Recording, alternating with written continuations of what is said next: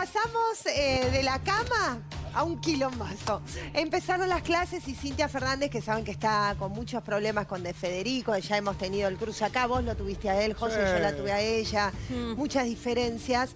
Eh, arrancaron las clases y salió, pero con unos tweets fuertísimos, porque él obviamente no pagó los útiles escolares. Claro, las ¿no? cosas La idea era los extras de este después. mes, que tenían que ver con libros, con útiles, con los uniformes, con todo lo que tiene que ver con el inicio de clases para tres nenas, que según lo que Cintia dice en los tweets, es el mes que viene te los voy a pagar, le habría dicho de Federico. Y A ella ver los dice, mis tweets. nenas tienen que ir hoy. A ver, porque obviamente en redes sociales se expresó Cintia Fernández y puso esto. A ver.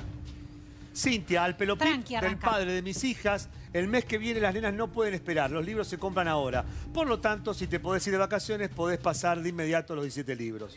Lo dijo acá Sí. que se Lo iba de acá, vacaciones con unos amigos Yo evitaría el pelotudo, ¿eh? porque si él Sí, te dice sí, pelotuda, sí. no te gustaría. Sí, es raro. Yo, Y además que es no el queremos... padre de tus hijas. Sí, ¿viste? por eso. Y yo lo evitaría elegiste el, vos. yo evitaría el pelotudo. Y lo elegiste vos, no te lo impuse. Exacto, es Sí. el Yo el papá de tus pelotudo, eh, créanme todo, pero la insulto no va, porque si él te insulta es Sí, un quilombo, sí, ¿eh? obvio. quilombo. Y real. bueno, para que sea para los dos, lo mismo. A ver, otro más. Ah, Matías respondió. Matías respondió. A ver qué dijo A ver. Matías. Recibo respuesta de que ya están los libros y mi respuesta fue con el depósito del mes que viene, marzo. Nunca dije no puedo. Ah, ah, ah. Ah, mirá. ah. O sea que le Cal dice, reclamó- te los pago, pero el próximo El mes, mes cuando que te hago el viene. depósito de la mantención... A ver, a ver, la doctora está poniendo A ver, la cara, doctora doctora. Y sí, eh, lo que le pasa a Cintia le pasa a todas las mujeres que padecen cubrir, eh, cobrar la cuota alimentaria, porque cuando el hombre te dice el mes que viene me pongo al día, el mes que viene te Claro, pago, el no, mes que viene, no, no, el chico no come el mes que viene, la luz te la cortan hoy, todas las cosas las tenés que hacer hoy, Es no verdad. cuando el señor quiere Sí. o puede. Y lamentablemente en ese punto también tenemos un gran problema, que la justicia cuando eh, intima de pago y la otra parte contesta, ya pasaron dos o tres meses. Claro, Con lo claro. cual, en esos dos Sí, o tres útiles. meses... ¿Qué pasa No, y el primer mes no pueden ir sin uniforme, sin libros, no pueden ir las chicas un mes esperando Exactamente, que por lo, tanto, la plata. por lo tanto, cuando el hombre se atrasa con el pago de la cuota alimentaria, verdaderamente es un gran tema que merece no solamente un debate, sino también eh, una incursión bastante fuerte en lo que es en la justicia. Ahora, Ana, hay Sí. una cuota pautada todos los meses, tiene que pasar X cantidad de dinero que ya está pautado en la justicia. ¿Qué pasa cuando hay gastos extras, como en este caso? ¿Él tiene que dar la mitad en el momento? ¿Cómo es eso? Bueno, no conozco el caso particular de ellos, pero generalmente uno cuando firma un convenio de cuota alimentaria o eventualmente tenés una fijación judicial, ya sea provisoria o definitiva de una cuota alimentaria, están previstos todos los gastos Ah. extraordinarios. O sea, gastos que pasan ocasionalmente al principio del año lectivo. O sea, no tendría que pagar, no, no Matías de Federico, digo, cualquier padre Cualquier papá. no tendría que pagar extra en, en época escolar. Sí, sí, claro. Tendría que sí pagar extra. Por eso te digo, puede No- pasar o que el juez lo fije provisoriamente Ah. o lo fije definitivamente, o al firmar un convenio de cuota alimentaria vos ya especifiques que al principio del año lectivo es uniforme, eh, Claro, en febrero tiene que sumarle... Exacta, matrícula, todo lo que de alguna manera es extraordinario, desde lo que tiene que ver con la educación, lo que tiene que ver con las tareas eh, extracurriculares, si es que Pero hay cosas que digo, no se pueden fijar. Una nena se enferma, tienen un gasto extra. Eso no lo podés Bueno, fijar. ¿o eh, lo sí? que pasa es que ahí sí depende de la voluntad de cada progenitor, porque hay Claro. cosas que vos llegas tarde en la justicia. Sí.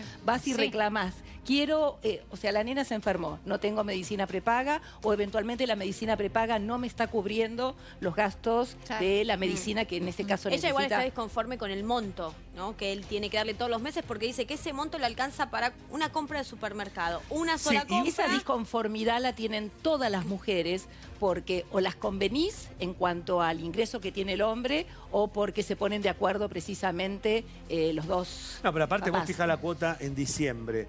Con la inflación que No, hay, sí, el otro- claro. al otro diciembre no Ya te está. llega No, nada. pero- No, Es que pero cuando generalmente pedís el cada aumento- seis meses no se, bien, pero adapta. hoy ni los tres, ni los seis, ni el Claro. anual te recomponen Te lo que es la cuota alimentaria Claro, pero, que vos pudiste Ana, haber ¿qué pasa en este caso que él, por ejemplo, se retiró del fútbol, no juega más y no percibe el sueldo que percibía antes? ¿Qué, qué sucede?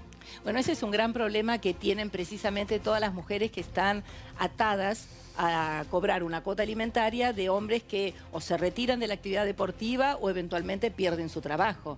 O sea, en el momento que se fija la cuota alimentaria hay una responsabilidad judicial o extrajudicial asumida por el Pero progenitor. si él mismo tiene que bajar el nivel de vida, ¿no? Porque él no está viviendo en la misma casa en la que vivía o no puede sostener ese nivel de vida. ¿Se adapta a la cuota? Por- Porque ha pasado que hay padres, aunque estén juntos, que dicen, no podemos pagar más estos colegios y resuelven cambiarlos. Cuando los papás están juntos resuelven todo de una manera. Cuando los papás se separan, lamentablemente es un litigio. Entonces, vos vas a querer demostrar que el papá puede seguir abonando la cuota alimentaria pactada o eventualmente que vos querés seguir manteniendo, o sea, los chicos van creciendo. Por lo tanto, no es lo mismo las necesidades de los chicos a, Sí. a los 5, 6, 7 años Claro. que Lo que pasa grandes. que en, en el caso de Matías Federico y muchos futbolistas, que poniendo el caso de que decía Caro que pierden su trabajo, y vos lo comparabas con mucha gente, en el caso para mí de los, de los deportistas, un, un deportista como, como Matías Federico o los grandes deportistas que hay que ganan millones de pesos y se retiran, no van a conseguir un laburo de millones de pesos de nuevo. Muy difícil. En cierto. cambio, una persona que es empleado de una farmacia, lo echan del trabajo Puede y cuando conseguir consigue otra. va a conseguir el, el- Sí, el- más o digamos, menos. más o menos lo mismo. Entonces, esa diferencia de gano en euros o gano millones de pesos a de repente no ganar nada, ¿cómo la llevas a la justicia? Ese es un tema muy, muy álgido, porque cuando el hombre tiene, gana, guarda, ahorra y después no lo puede recomponer ese patrimonio, está frente a una situación verdaderamente excepcional. Por un lado, vos querés mantener el mismo estándar de vida de los chicos y decís, los chicos crecen, necesitan más cosas, más ropa, Claro. eh, educación, obviamente no es la misma la educación de la escuela primaria que la secundaria, el teléfono los celular, libros, o lo que después. fuere, las necesidades que van creciendo con los chicos. Y por otro lado decís, bueno, pero mi marido ya no es lo que era antes. Antes ganaba, como decís vos, en euros o ganaba fortunas por su actividad deportiva y no tuvo, o sí tuvo, la posibilidad de ahorrar, lo que pasa es que le tenés que encontrar la plata donde la Claro.